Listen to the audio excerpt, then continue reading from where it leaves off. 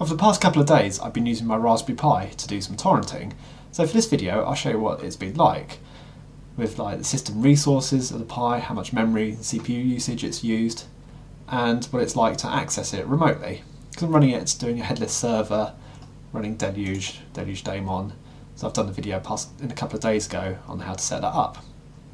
So what we're doing here is just using the Deluge remote client and just accessing it through like the regular interface. It gives you the same interface, but this is not what's running on the computer here, that's what's running on Raspberry Pi downstairs. Above me here we've got top running, which is showing the CPU and memory usage. It's a good thing we got the increase in memory now on the Raspberry Pi, so 512 meg of RAM. You'll see it's using 436 meg, leaving 20 meg free. Numbers sound a bit odd, but that's binary to decimal numbering. So the other program that's running on there is WebMin. Just a handy interface for doing admin work on it. What I do like though, ratios on here. Lubuntu, 700 meg ISO, a ratio of 15. Sweet. If I was trying to do that on my desktop computer, I wouldn't have got close to that by now because I don't leave my computer running all the time because it's quite hefty on power consumption. It's got a good spec AMD CPU and quite a reasonable spec NVIDIA graphics card. So I'd have just been wasting my energy bill to power this. Alright, so what I'm going to do is add a new torrent. I'm going to go for Linux 14 Mate. Open it in Deluge, add. So you can see it, actually using it is pretty simple to add a torrent. I think magnet links also work in the same sort of way. You just click on the link, add it, but it adds it on the Pi instead of on the local computer. So download speed, yeah, it's pretty reasonable. What I have found, it sometimes stops downloading part of the way and then it start back up. It seems a weird sort of thing. I've not really noticed the desktop computer do that so much. Could be some issues with resources.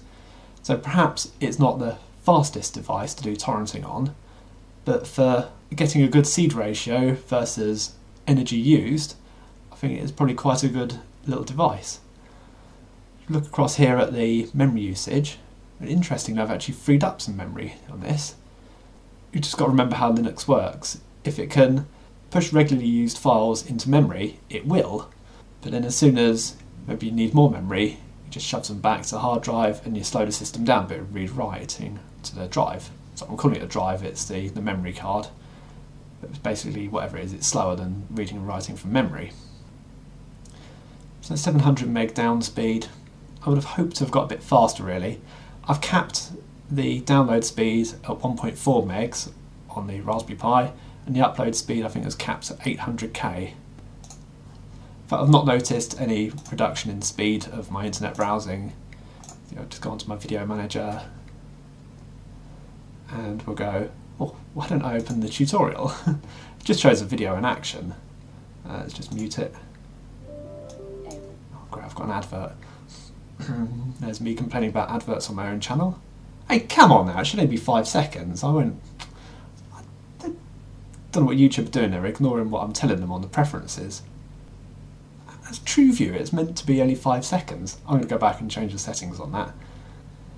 Anyway, change quality, 1080. Downloading. Suffering any consequences on download speed there? No, not really. Bring that up. Resources, network usage. Receiving 3.4 megasecond. Hmm. What's Raspberry Pi doing? 800k download. It's pretty reasonable, isn't it? If you notice the upload speed's dropped. What I can conclude from using the Raspberry Pi for doing torrenting, it's good for the low power usage and getting your seed ratio up. What you have to bear in mind is not the quickest device. If you're adding torrents that you want to watch something quickly, it's not going to be a good device for that. But if you're aiming to get your seed ratio up, probably is a good device for that one. I hope that's been useful if you're thinking about using a Raspberry Pi for that. Thanks for watching, see you later.